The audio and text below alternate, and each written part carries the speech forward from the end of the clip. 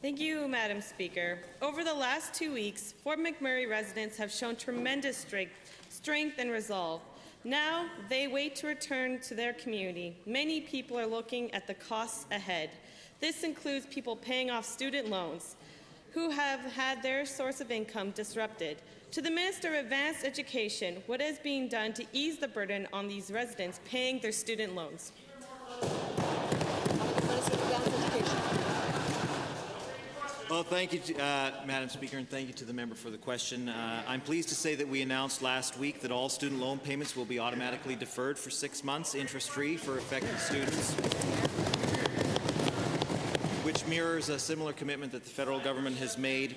And I ask that all students who have been uh, affected by the wildfires please reach out to uh, Student Aid Alberta to make sure that they can get their student loan payments deferred. Uh, when people have been displaced from their homes and their jobs, the last thing that they should have to do is uh, worry about costs like student loans. And I'm proud that our government is dedicating the necessary resources to meeting the needs of those affected by the wildfire.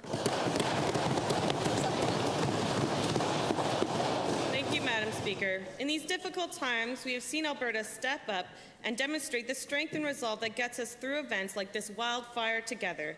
Will the Minister of Advanced Education tell us how post-secondary institutions are playing a part in this?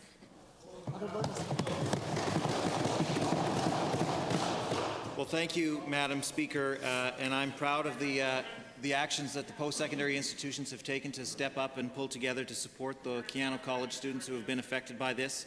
Uh, roughly 2,000 evacuees have been accommodated on post-secondary campuses all across the province. Uh, and we've also had uh, all of our institutions reach out to say that they have spaces available if they're needed.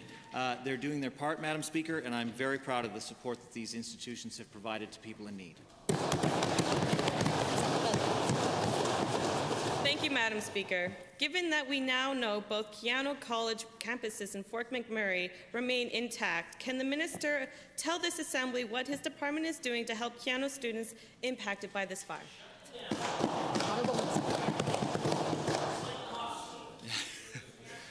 Well, thank you, Madam Speaker. And I've, I've heard some cries from the opposition that we're shutting uh, universities down. They must be confusing our platform with their platform, Madam Speaker. I, have had, I've had the chance to talk to staff, students, and faculty at, at Keyano College, and there we're working with technical training institutes across the province to support students registered at Keyano to continue their studies. And again, I'll urge any affected apprentices to reach out to advanced education as soon as they're able so that we can ensure that they get the training, uh, the training that they need. I want students, staff, and the Fort McMurray community and all Alberta